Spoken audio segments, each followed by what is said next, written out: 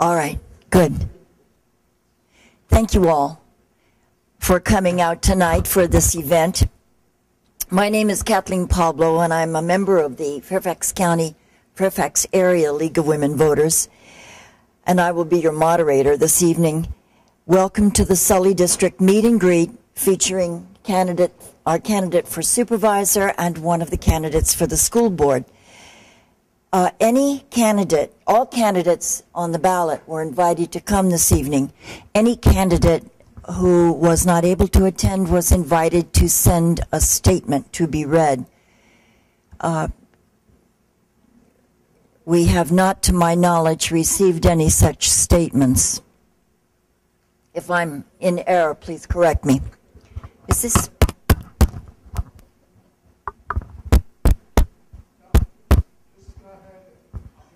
All right, I'll use my teacher voice. Does that work? and if that doesn't work, I'll use my principal voice. and I could reach down two hallways with that. Thank you. If there are any other candidates here this evening, we will introduce you at the conclusion of this part of the meeting, the question and answer. Um, I'd like to introduce some other organizations that co-sponsor with the league in hosting these events. You had an opportunity to meet Debbie Kilpatrick from the Fairfax County Council of PTAs. Is, and you're from uh, the Sully District Council, I believe, and I, there must be some others. Raise your hand if you're from the Sully District Council. Uh, the American Association of University Women of Virginia, the uh, Voice of Vietnamese Americans, and the Zeta Phi Beta Sorority Incorporated.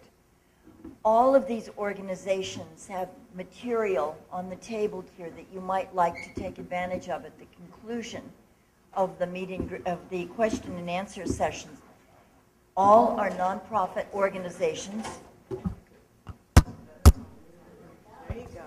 There I go. now I won't have to raise my voice to you, I hope. These are all nonpartisan, um, non political entities. We are all here, our co sponsors in the league, we are all here to help you be better informed. And, and we do ask that you keep in mind that this is a civil and orderly discussion. All of us would like to thank you ladies for attending this evening. We have Supervisor Kathy Smith.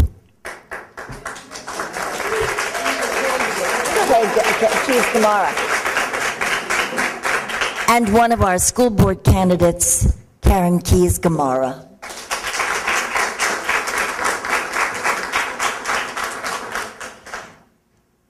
I would like to give special thanks to Mr. Ben Zuhl from the Fairfax County Public Access Television Station.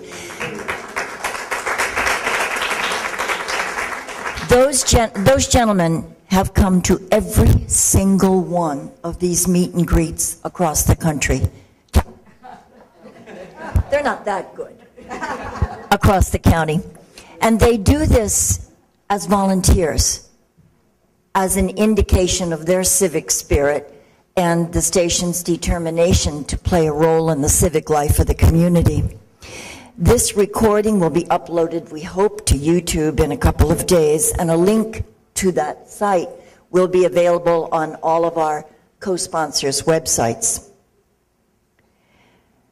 There was a lot of uh, stiff opposition to our holding this event tonight. Very formidable lineup, opposition lineup with the storm and the World Series. I guess I shouldn't have reminded you. and the debate. And the fact that this many came to ask questions and to be better informed, and then to go home and help their communities learn more about issues is a real testament to your civic um, pride and your sense of civic duty. There are copies of the league's What's on the Ballot and Facts for Voters on the table and voter 411 cards on your seats. The voter guides will be published in the Fairfax Times this coming weekend, we hope, and they can be accessed as well at Vote 411. Our format this evening. As I said, everyone who's on the ballot was invited this evening to attend or to send a representative who would read a statement. Each candidate will be introduced by the moderator and will develop, de- uh, deliver a three-minute opening statement, timed introductory remarks, and then with 30 second and 15 second warnings. Would you raise your paddles and show them what it will look like? And Susan Dill and Judy Heline from the League volunteered to be our timers this evening. And they are seated in the order in which they will appear on the ballot. And because we have but one candidate for each slot present, we'll simply alternate questions. But it will look as if I'm giving two to one and then two to the next. Ms. Smith, Ms. Keys Gamarra, Ms. Keys Gamarra, Ms. Smith. We're trying very hard to be absolutely even-handed. The response time to the question and answer sec- uh, to the questions is two minutes. If you have not provided a question, please do so. We have members circulating with index cards. Write your question on the index card, and they'll be delivered to me during the course of the, of the question and answer session. Um, all questions should be brief, specific, and indicate whether the question is for the supervisor or the school board candidate, or both. Only one question per index cards. And then when we conclude at 8:30, there will be a 15 to 20 minute period in which you will have an opportunity to speak personally to each of the candidates and get clarification on your questions or ask a follow-up. We will, as I say, end at 8:30, and at that point, we'll take just a short uh, break so that the tape can be changed in the videography. Yes? And we'll use that time to introduce any other candidates who are here. If you are a candidate for another office or in another district, please let Sydney Johnson know so that we can properly introduce you. Let us begin. And we did, would you like to, Ms. Smith, begin with your three-minute introductory statement? Sure, so this is just going to work. Uh, good evening. I want to thank the League of Women Voters for putting this together and for letting us know months ago that this event was going to be on our agendas. I put this on my calendar months ago so I could be here because there haven't been that many opportunities to get out and talk with the community, and I think it's really vital. That person to person contact to answer questions and to meet people helps us be better leaders and, and help the community. So, what led me to do this? I've been your school board representative since 2002. This is a great place to live. My husband and I raised our four kids here. We have a great school system, but I've also seen the changes in the community. Our population is changing, our demographics are changing, we have had the issues with sequestration. And I really reflected on the skill set I've gained as your school board member. I have experience with a $2.6 billion budget. I have experience making those tough decisions when you have to decide which programs you can continue to afford to, pr- to provide and where you need to make cuts and make changes. And I think that experience is vital to move us forward through these tough decisions. As we're a changing community, as we're aging, we have to make decisions to make this a vibrant place to live. And I want to be part of that decision making. Um, sorry, checking my notes. We also need to ensure that our schools are strong because that's why businesses and people move here because of the strong school system. But part of living here and having a great place to live is working on our transportation, going door to door, talking to people. That's probably the number one issue that comes up. So we have money that comes from the state to do some transportation issues. We have to be aware of what we do when we can improve intersections. I live off of Stringfellow Road. Quality of life got so much better when that road was widened. Now we can go get pizza on Friday night that we love to do.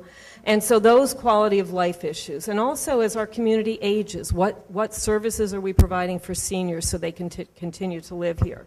I have four young adult children. It's hard for them to afford to live here. What are we going to do about affordable housing for young professionals? Having a situation where our firefighters, our police, our teachers can live in our community. There's lots of quality of life issues that we need to deal with. And I want to work with the community to come up to our decision making to ensure we keep a vibrant place to live. Um, the, I think the most important piece, though, is I am committed to working for this community, as I have shown as my work as a PTA leader and through my work on the school board. This is a full-time job. Sully District is used to having a full-time supervisor working for them. And the expectation that this job pays $95,000 a year, I am committed to working with the community, being here and having office hours, working with people on the weekends and the evenings, and working together with you to ensure it's a great place to live. Thank you. Thank you, Ms. Smith.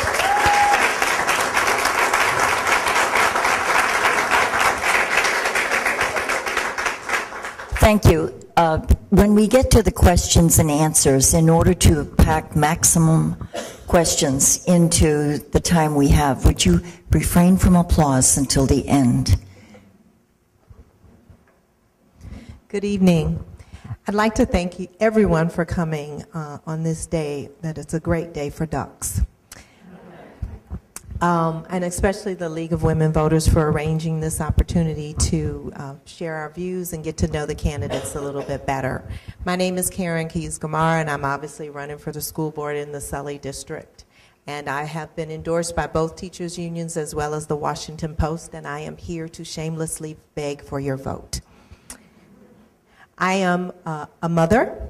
I have three children, and I am also an, an attorney. My husband and I, Antoine, seated in the front row, we've been married for 25 years, and we have three amazing boys. I'm just a little biased, maybe. Um, my oldest son, Jonathan, is, has graduated from Fairfax County Public Schools and is attending school, um, college in the local area. My middle son, James, is attending West Point, and my youngest son, Jordan, is a junior in high school and made, made, wanted to make sure I did not say the name of that school. But it is Fairfax County Public Schools. So my work, since I came to um, Fairfax County back in 1990, um, I've done a lot of volunteer work. I've worked with a number of organizations, including the NAACP, CASA, which is a Court-Appointed Special Advocates.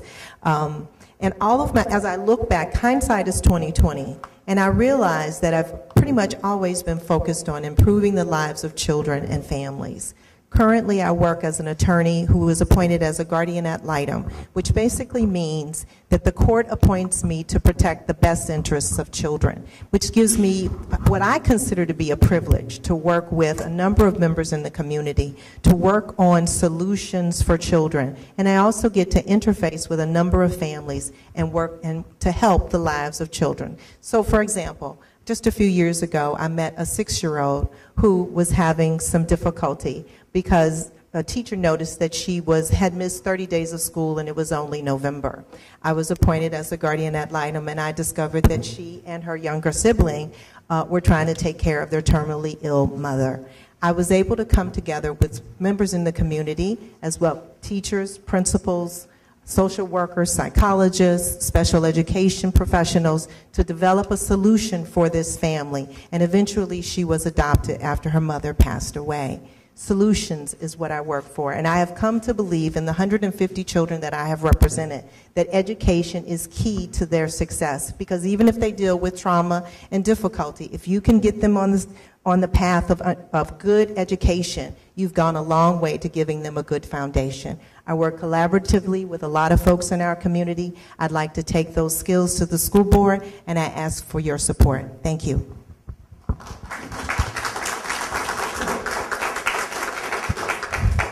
Now we'll begin with questions. We'll hold applause until the very end. You will have two minutes to answer this question, or you may choose not to answer it if you prefer. And we'll begin with a question that has been posed to both candidates. What are the best ways that you could support to increase funds for our public schools in Fairfax County? Ms. Smith. So, um, one of the issues that we face in Fairfax County is that we have the Dillon rule in Virginia, so we're limited to our revenue sources. So, I'm going to take part of the question to mean what can we do to bring in different forms of revenue. And one of the issues that's been talked about is a meals tax. And what would have to happen is that a referendum would go to the voters, and the voters would make a choice if we wanted to have a meals tax. I think if this issue was going to come to the voters, there would have to be a serious discussion of how the revenue would be used. If Fairfax County did a meals tax at 4%, it could bring in 80 to 90 million dollars. Every penny that gets raised on the real estate tax rate brings in about $22 million. So I think the discussion of whether we do a meals tax or not also needs to talk about would part of the revenue from the meals tax provide relief to homeowners on real estate tax? And then there would need to be a discussion in the community of what services we would provide. Would it go to schools? Would it go to public safety? What issues would you deal with that? So this is a community conversation to bring in different forms of revenue.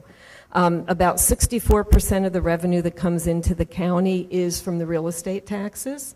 And so I think as you look to raise the real estate taxes, you need to have a conversation with the community about the impact and the services we offer.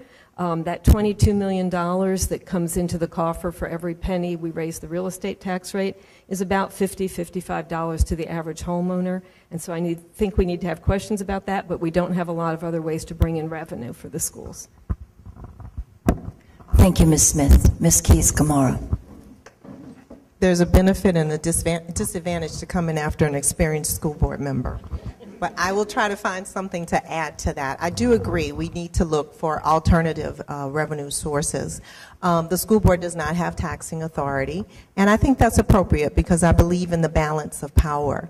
Um, but I also am a member of the Budget Advisory Committee on the school board, and we've been combing over the, the budget, and my opponent has uh, published that he believes there's still low-hanging fruit. I challenge him to let us know what it is, because 36 people sat in that room, and we had difficulty finding it.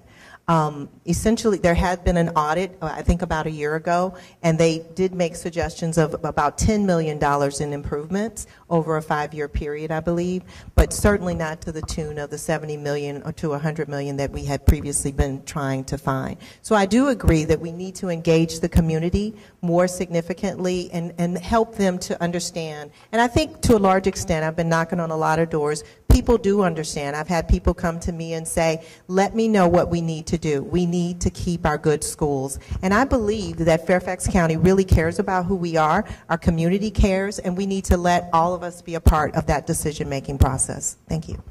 Thank you. This question is for um, Ms. Keys Gamarra. You spoke of solutions.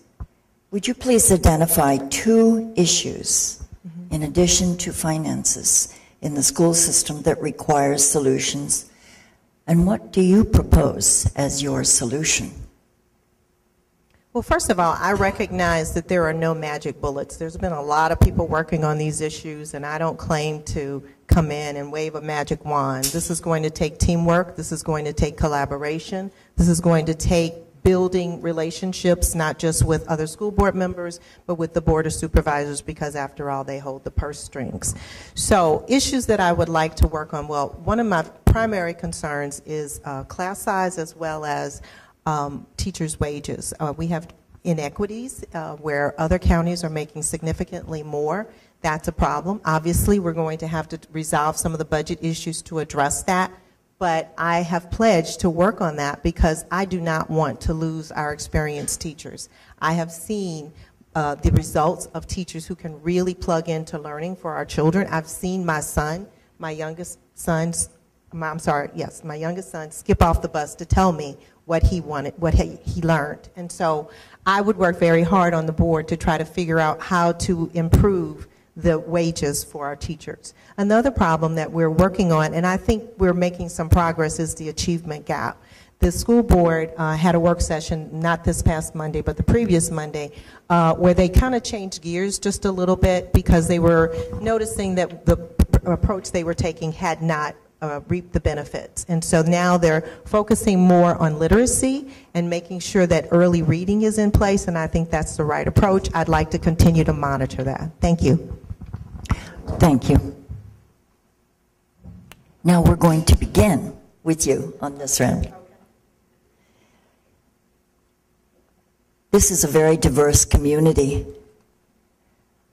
What do you think are the first, second, third steps in providing a quality education to all of the students from all of the groups that make up this diverse community?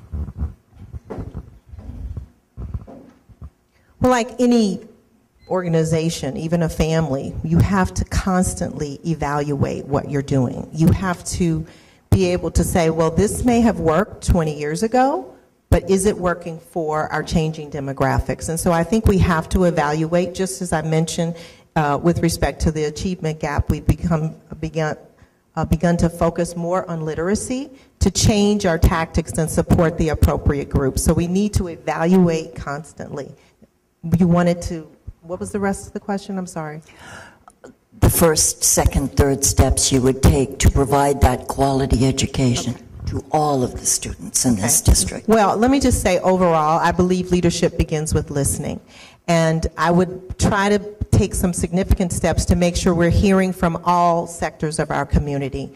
That includes PTAs, but it also means going to hear what folks are saying in churches and mosques and whoever is in our community because they may have particular concerns. And so I want to make sure that we're tailoring, we're listening, and we're also evaluating as we go. Thank you.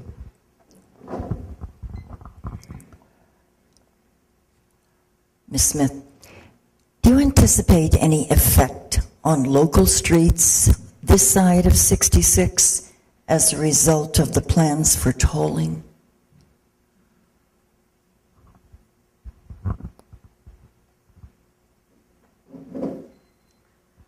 Okay, so I'm not sure I totally, um, so the plans for tolling 66 on the hot lanes? Apparently. Okay. So, Any effect on local streets this side of 66 so the if plans for tolling proceed? The, the plans for 66 outside of the Beltway would add um, HOV lanes, but there would still be three lanes for traffic that don't get tolled. Um, So people would still have the same opportunities that they have now to travel on 66. So I don't imagine that that would change um, the routes that people take here. Um, The discussion of 66 inside the Beltway, I do believe that 66 inside the Beltway needs to be expanded, and, um, you know, there will be effect on people whether they use the roads right now. They're not allowed to if they're one person in a car, so they can't use 66. So there's definitely effect there, but people still have the option outside of the Beltway to use 66. Thank you. And number three? Yeah, Question, third question. If you could have your way and have one item excluded from the Fairfax County budget, what would it be? I should have said no gotcha questions. Wow. Um, how do you answer that question? Because you know what? One of the things I learned being a school board member, there is a constituency for all the programs you offer. And so a program that I might think we shouldn't offer anymore, there could be a constituency for. And I think that's part of leadership. Not for me to say we're going to get rid of this program, but to work with the community. Um, so we have strong libraries, we have strong parks, we want to have a strong police force. Um, so to say, okay, here's a program I've targeted and want to get rid of, I, I don't think that's responsible for me to, to make that decision. Thank you. Yes. hmm Yes. Okay. Sorry. for the delay, Ms. Keys Gamarra. This could have been a question for both because I just received, what's the first thing you'll cut should you be elected from the school board budget? Please don't say salaries. I, I'm reading, I'm reading. I'm going to um, respectfully dodge that question. Um, I am a member of the board, the Budget Advisory Committee, and my priority has been to protect resources for the classroom, and that includes salaries. Um, that includes protecting the things that our teachers need to do their jobs every day. Um, and I cannot, I honestly cannot remember at this point some of the things that have come across from that committee that we want to cut. Um, you just kind of gingerly try to make sure you impact as few people as possible um, to try to make sure that our schools continue to offer the excellent education that they, they do presently and even improve. Thank you. Your second question? If the Fairfax, if Fairfax County proposes seriously a meals tax, will the entire underlined community support it? Should they? Will they, I haven't seen Fairfax County or any group completely agree. That's called heaven. no.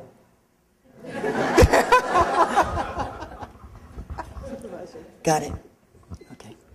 Ms. Smith, what do you do, propose to do to achieve a sufficient mix of housing at different price points? Um, I think it takes a combination of the supervisors working with the businesses, with developers to provide um, affordable housing. Right now, there's a project that the supervisors are doing on their property with a private builder building units. They're going to be affordable apartments that firemen, police, teachers will be able to rent. I also, I also think it's part of the process with um, the land use issues when you have developers coming forward that a certain percentage of their units would be affordable units when they do developments. And I think we need to look at, at spreading those things out across our communities. I've seen the impact when, when you um, have too many affordable units in certain areas of the community. And when we talk about affordable units, we're just not talking about people with the lowest wages. We're talking about affordable housing for young professionals, kids just out of college, new families. So it's a combination of units like that. Thank you. Your next question, beginning of the next round. Would you please comment on your relationship with the Sully District community organizations that advocate and support minority student achievement? So um, this is very dear to my heart. Um, I was involved with the PTAs. Um, when my kids were in school, I was the PTA president at Chantilly, uh, Poplar Tree, and Rocky Run. And I think what makes our community so vibrant is that people that live in our communities come up with solutions to help us. And there was a group that started in the Chantilly area by Shirley Nelson called Chantilly Pyramid Minority Student Achievement Committee. And these parents got together and worked together with the leadership of an, in our schools to meet the needs of kids that were struggling with their education, but also then to reward the kids that are successful. And it is a great program, and it shows the power of why this is such a great place to live, because the community members work together with the school system in this, in this um, area to help kids grow, to help them learn, and then to reward their achievements. And, you know, with other areas in, in our community, this is what makes it so strong. Working with the youth sports groups. They provide fields, they help provide resources, they really work, they help keep the fields at our schools in good shape. Um, people that have passions for horses, they work together to provide trails. This is why Fairfax County is such a great place to live. Um, and I have that experience working with these community groups, and I really value that. Thank you. Thank you. Ms. Keys Gamarra. Do you foresee a continued increase in student enrollment in this district and in the county? Or does it appear that it will be leveling off? Would this affect future money and facility needs such as building of permanent classrooms? I have looked at some of the numbers, and there does appear to be a, a change in um, the number of students coming into our system. And when we plan for our capital improvements, we tend to do it in a five-year uh, block. And so that, I think, is a good plan Fair- that Fairfax County Public Schools have implemented because they can look at those changing demographics and the number of children coming in and adjust their plan accordingly. Thank you. And if I may ask, there's always talk about how much money in the school budget goes to administration, central office personnel, and so forth. What are your thoughts on this? I've heard lots of rumors. Um, I know from having been on the budget committee and also knocking on doors, there's a lot of misinformation. Um, I don't have a number in my head as to how much that is, but let's just say the rumors and the facts don't appear to match. Thank you. Ms. Smith. Please explain if you intend to support direct revenue strategies to close the operational budget gap principally for Fairfax County Public Schools, including a property tax increase in addition to the meals tax that you've already addressed. Could you just read it once more? I wasn't sure the beginning of it. Do you support direct revenue strategies to close the operational budget gap for Fairfax County Public Schools, such as a property tax increase? You've already indicated support for the meals tax, which was the other half of the question. You know, it, and I feel disappointed for the crowd here because you came here to hear a comparison between my opponent and myself to hear our viewpoints of what we think about these issues. So I, I want to apologize that you're not getting that opportunity to hear the difference between us. Um, it is so easy to stand here and just say, we're going to find efficiencies, we're going to cut the budget, and everything's going to be great, and we're going to fund what you want to have. You know, it was very interesting. I have here Mary Kimm from The Connection wrote an editorial about schools funding. Uh, JLARC, the Joint Legislative, um, I always forget the order of the number letters, Joint Legislative Audit Review Committee did a report on school funding. And she references that in her editorial. And I want to read something she wrote in this editorial. Effective leaders in Northern Virginia will have to lead the way to funding effective school systems in a challenging economic environment. But if you hear a candidate claim that schools can get by on less by being more efficient, ask if they have read this report. We are past simple solutions for the services we want to provide in this community. And the answer might be that we have to raise the real estate tax rate. But one of the things I've advocated in all my years on the school board, the school board, comes, school system comes out with their budget the beginning of January. The county executive comes out the beginning of February. And then the beginning of March, the supervisors will set how high the real estate tax rate can be. When they vote on that budget at the end of April, they can make the tax rate lower, but they can't go higher. And if, if, if the community wants to have a discussion about the services we want to provide, you have to provide that flexibility in where you set the tax rate. Then I would listen to the community, I would have that involvement and see where we vote on that budget in April. But we have cut in the school system half a billion dollars. I know they've made efficiencies on the um, Board of Supervisors side, and I'm stopping. Thank you. And thank you for stopping on time.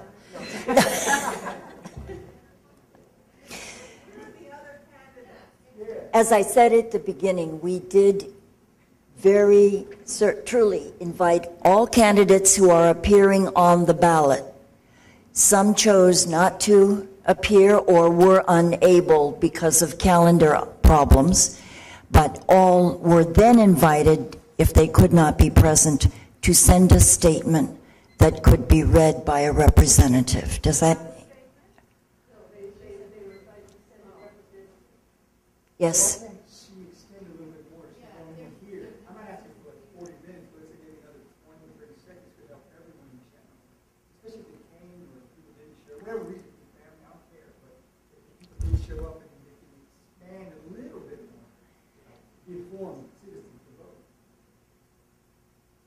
Let me pose the question to our supervisor.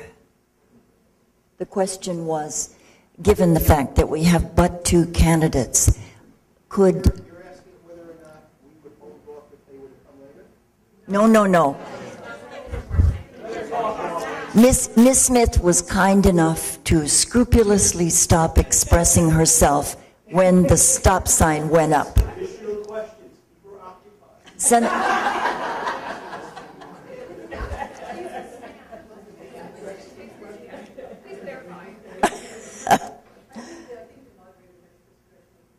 to let it go a little. Thank you for that ruling. Thank you. All right. You've got an hour and 20 minutes to answer this one. That's what you get for making trouble. You, now that I read the question, I think you need that time. How does a supervisor balance transportation needs of commuters with quality of life needs of residents whose residential streets are impacted? See what I mean? Yeah. Um, I think those are part of the decisions we make when we, when we uh, plan developments, when there's changes to the comprehensive plan. There really needs to be a good look on what the impact is in communities. Um, You know, and part of that is having the plans in place, whether it's from developer proffers to improve intersections, um, to keep traffic flowing. You know, it's very hard on a community if you have cut-through traffic, so I- that's part of the comprehensive plan and- and looking what you're doing with that. It's also the advocacy at the state level. Uh, VDOT VDOT has responsibility for a lot of our roads. We've seen great improvements along 28, you know, starting to the north. It's it's easier to travel it. You get to Route 50 and there's problems.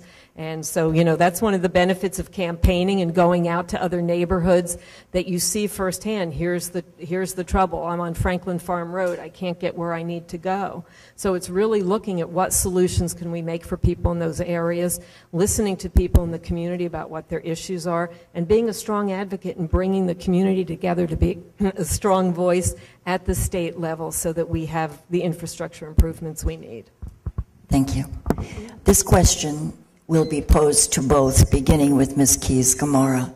According to the 2015 ACT college admissions test, only 59% of Fairfax County Public Schools seniors are adequately prepared for college. The number varying from 75% to some schools to as low as 20 in others. Why does the percentage of prepared students vary so much?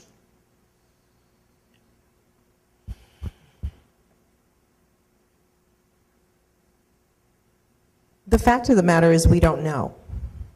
Um, and I can't pretend that I know. I think that we are constantly looking at why we have certain impacts in one community and not in another. Obviously, you, you may have some students that have more advantages and their parents can afford to prepare them and that sort of thing. But my hope is that we can really look at what we're able to do in every community to equalize that and to be able to provide quality every, education to every child. Thank you. Ms. Smith, same question. Would you like me to read it again? Only 59% of our seniors in the county are adequately prepared for college, with the number prepared varying from 75% to 20%. In the interest of clarity, I should say that Thomas Jefferson is not in that metric.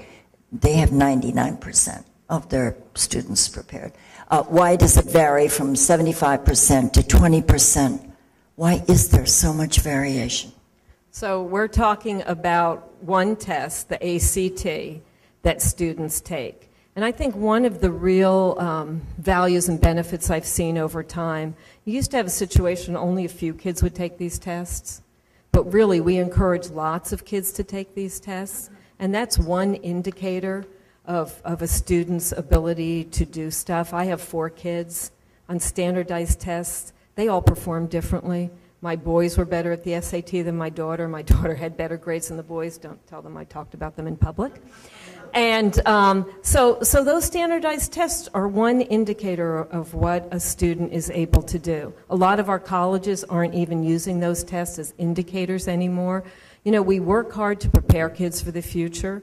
We can always work to do better. I know the experience of my kids when they went to colleges. They felt they were very well prepared compared to students from other areas. So, you know, I worry about using one indicator and saying, okay, people totally aren't prepared, and I think we have to be careful using statistics like that. This question is addressed to both candidates as well. Ms. Smith, what are your positions on the bond issues that will be on next month's ballot? I definitely support this, the school bond. Um, I think it's an important way that we uh, support building our schools, renovating our schools. The school system is behind on our, our renovations. Our policy says we will renovate a school after 25 years. We're getting up to the 35 year or sometimes more before schools get renovated, and that's an, that is definitely an issue. And because Fairfax County is very careful with their AAA bond rating and the percentage of um, their debt limits, that we have a very low rate on our bonds, and you'll find that that will not affect your tax rate. So it's a good way to provide services. Um, Thank you.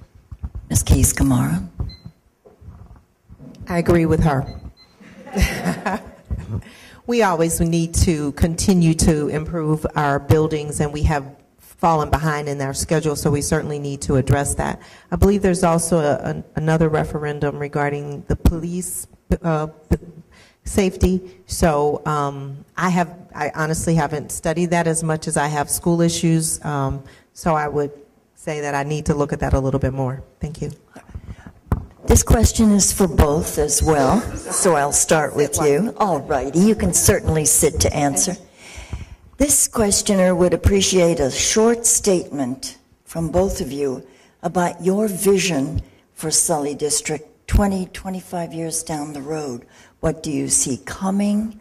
What do you think needs to be prepared for? I have to go first? No. Yes. Well, obviously, our demographics are changing, and um, my vision for Fairfax County is that we lead the nation in being able to provide, first of all, recognize what that means, but also um, improving in the achievement gap, um, closing that gap, uh, studying how to make sure that every child can take advantage of our excellent education. I expect that we will continue to have um, children leave our, our schools and to compete in the world market excellently. And I expect that um, we will be a rainbow of people doing that. And I think that they will proudly represent Fairfax County. Thank you. Thank you. Ms. Smith? I think that's one of the exciting things about coming into this job and, and ensuring that we look to the future. Um, I, I think that we, we need to do different work with developing, that we create centers where people can live, work, and play. And I think that works for people that are getting more mature and also for young professionals. Uh, changing our hubs of employment so that we don't have to get in the car and travel far to go to work. Um, the school system has, has done things where we have a school in an office building. So as our population grows, being creative about how we provide schools, how do we combine services? Can you have a clinic in a school that the public can come in and use? Um, opening up maybe libraries and schools, really creating a vibrant place for us to live here in Sully. Um, as the population changes, we want to ensure that we keep attracting young people to come live here and, and to want to buy our houses when we decide we want to age out and move on. Um, are we going to be able to bring Metro out this way? What are we going to do with any kind of uh, bus services? Really looking at the changes we need to make moving forward. You may certainly be seated if you'd like to answer. We're going to go back to one question, one question now. Ms. Smith, Given that Senators Kaine and Warner joined in voting against considering Senate Bill 2146, a bill that would have punished sanctuary cities, is the time ripe for Fairfax County to declare itself a sanctuary county, joining 18 large cities in refusing to help in the enforcement of federal immigration laws? In fact, uh, there's a note at the bottom, parenthetically, Fairfax County is already listed online as a sanctuary county.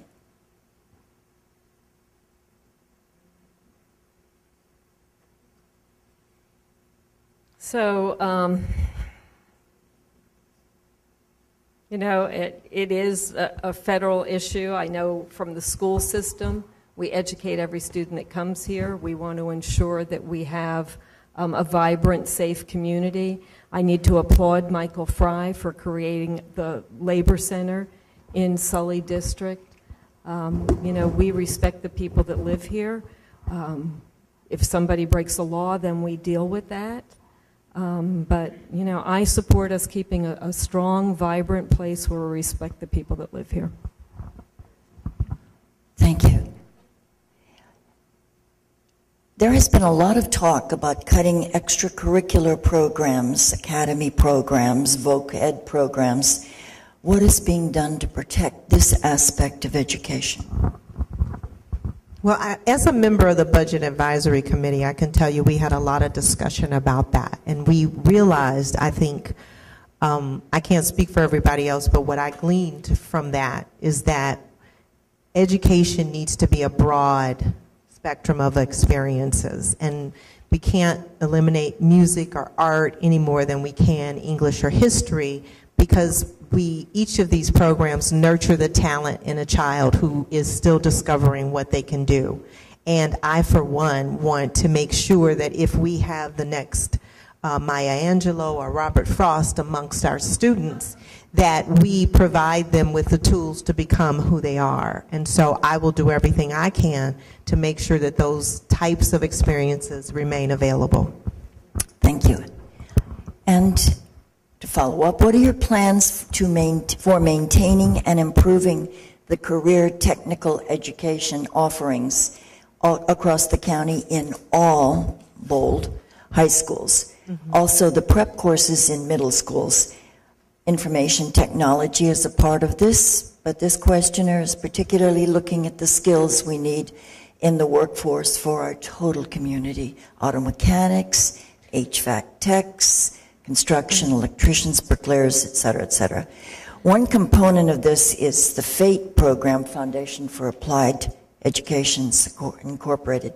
But more is needed as not all of our students, as we just said, are going to college. Okay, so can we summarize? Can I see that? Sure.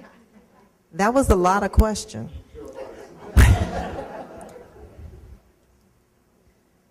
Well, basically, it looks like they're looking for, Increased voc in the schools. yes, thank you. Um, Certainly, all of our students don't want to go to Yale, and that's okay. Um, We need, um, we need to make sure that we are providing uh, for a variety of skills, and I certainly support that. Um, We just ha- simply have to look at how best to do that and try to make things more widely available. We do have budgetary constraints, so I can't sit here and tell you uh, that I'm going to pull out some magical money from somewhere and make that happen. But certainly, we do have an eye toward um, making things more available in a, on a wide basis, which is, I think, kind of the trend that um, the, the board is leaning toward right now anyway, so that um, schools become more uh, attached to that community, and um, basically everything, the same things are available irrespective of what school you go to. Thank you. Once again, a question to be addressed to both. Ms. Smith, for 30 years, Fairfax County has struggled to close the minority student achievement gap. Do you support phonics-based reading instruction as one possible solution? You know, the, the sad part is the whole country has had trouble figuring out how to close the achievement gap. And I think we need a community solution. uh, to do that. Kids come to school with a gap already. And so looking at the services we provide in the community, looking at preschool, these are all important things to close the achievement gap. I was a first grade teacher. I love teaching phonics to my kids.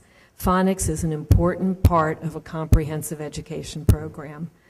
And um, that's what we offer in Fairfax County. We just had a review of our reading program, and there's an understanding that we need to work on some of those issues and improve them across our schools. When you have so many schools, you need continuity. But I totally believe phonics is a part of the reading program. We also need to ensure that kids have comprehension, that they know how to understand what they're reading. Um, the challenges are great. And, you know, bringing in community volunteers and helping kids. I think there's a lot we can do as a community to help kids, but absolutely phonics is part of it. So let me just, the question was, do I support having phonics? Yes. Okay. Phonics-based reading instruction to Well, help I close learned, the achievement I learned with phonics, so I'm fond of it. Um, I did read the literacy audit that came out recently, and um, I think Fairfax County has taken the right approach in terms of evaluating what's being effective, what is effective and what isn't. Um, and one of the things that was pointed out in that is to make sure that our teachers have ready access to the tools to improve literacy. Uh, phonics is one of the things that's available, but I think we need to have a number of things in our toolbox to make sure that our teachers um, have that access. I'd like to also utilize more experienced teachers to support younger teachers to say, hey, this is what worked, and mentoring and that sort of thing. Um, but I, I love phonics. I did too. Another question for you now. Should Virginia adopt Common Core? And please include in your answer for those who may not have children in school, what you consider to be Common Core. The short answer is no.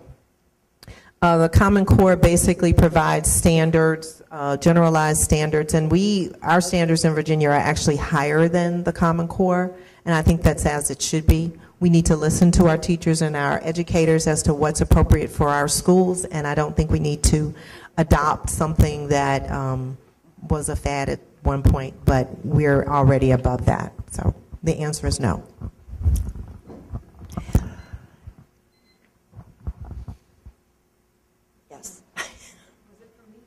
Uh, no, Okay. all right.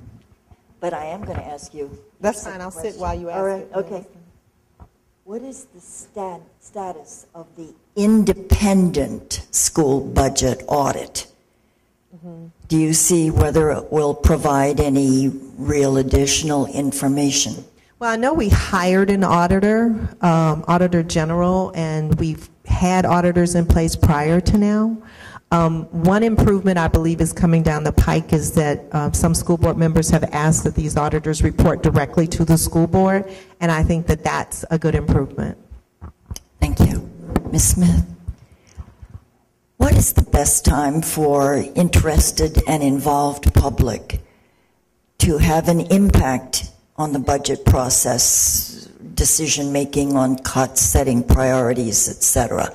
When should students, citizens, have the best opportunity to make that impact? So those of us that are elected officials know the budget process never ends. Once you stop, you start again, you have your budget forecast. So really, to be educated, you should kind of follow it the whole time and, and see what's going on. There's definitely decision points in the process. One of the things that the Board of Supervisors will be doing, and they did this um, last, I think, in fiscal year 10, is what they call the LOBs, a Lines of Business Review. And that process will start in January. They'll look at each of their, their um, lines of business, review that, get details about it, and there will be chance for the community to weigh in. And that will, that process will take uh, over a year to go through, but there will be um, time for the community to get involved. There will be community meetings. I think that's important. The school board has been looking at, at budget, budget issues, have the budget task force. We've had community meetings on the budget. As your school board representative, I think my community on the on, meeting on the budget is November 17. Um, But information will come out about that because we need feedback for the community. Um, So it is a constant process, but there are definitely different information points. I talked before about March 1st, where the Board of Supervisors are going to set how high the real estate tax rate could be. Not too many citizens get involved and provide feedback about that. So there are these important decision points. There's a ton of information on the website for the schools and the county. Follow it and get involved and, and ask. You know, ask what can I say and what can I do? Because the budgets in our community need to reflect the priorities of our citizens. Thank you. Okay. We have five minutes to go. Let me reassure everyone, I have quite a thick pile of school board questions and a thicker pile for supervisor questions, and still about half a dozen for both. If your question was not asked, please know that the League of Women Voters is going to submit to each candidate a list of the questions that were asked and those that were not asked. And they will be responding in writing if they choose to do so. So your question is extremely valuable and will be answered. Or in the 20 minutes, you might like to ask that question. So let me take the last couple of minutes to ask a question to both of you, beginning with, um, with you. Does implementing the Fairfax County Public Schools non-discrimination policy for gender identity require gender-neutral bathrooms? No. I might get another question in. Ms. Ms. Smith? Same question. Want me to read it again? No, no. No, both. So the answer is a brief no. Got it. All right. Both candidates, one more. Since 2000, enrollment has increased in our schools 22%, but the budget's increased more than 100%. Given that revenue increased five times faster than enrollment, why was class size increased? Ms. Smith, and then Oh, I know where the question came from. Um, um, you know, it's so easy to try to compare numbers over time and think there's connections between them. But the school system's changed, what we've offered has changed, our demographics have changed, the programs have changed. So it's not a direct correlation between what we offer and, and comparing the budget increases that way. Um, we have needs-based staffing in the schools. I think we've done some strategic things to meet the needs of our kids. Back when I first got on the school board in 2002, a school was labeled as a high-needs school, and it just stayed that, and it got extra funding. And then we did some opened new schools, and populations got changed, and all of a sudden you realized now the needy population was in this school. So the school board directed our staff to look at a better way to do this, and they came up with needs-based staffing that puts the resources with the kids in that specific school. So we've really strategically tried to use the public's dollars in the most responsible way we can to have kids be successful. But since the economy changed in 2008 with the Great Recession, we have had some uncontrollable costs. And the revenue hasn't matched those uncontrollable costs. So we have had to do things like increase class size. When you look at the school's budget, it is almost 90% salaries and benefits. It is a people-driven business. So when you talk about finding other places to cut the budget, there's not a lot of money there. There was a previous question asking about administration. We have something called the WABE Guide, Washington Area Boards of Education Guide, that's on our website. And if you look at that and you compare the number of administrative positions we have to the rest of our employees, we're at 0.7%. Most other school districts in the area are over 1%.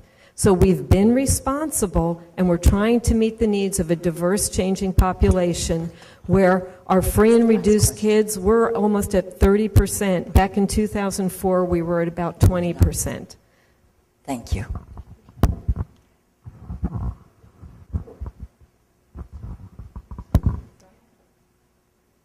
His tape has run out. Then we're going to give you an opportunity to answer that question. Well, I honestly have to say, everything I was thinking about was said by Kathy. Well said. well said. Um, with respect to the numbers, sometimes you just can't compare apples to oranges, and you have to you have to uh, adjust for inflation. And so I think sometimes I think the question itself was perhaps a little misleading. But um, I have been looking at the budget, and I'm not seeing a lot of low hanging fruit. This concludes the formal session of the meet and greet for this district. Mr. Velkoff.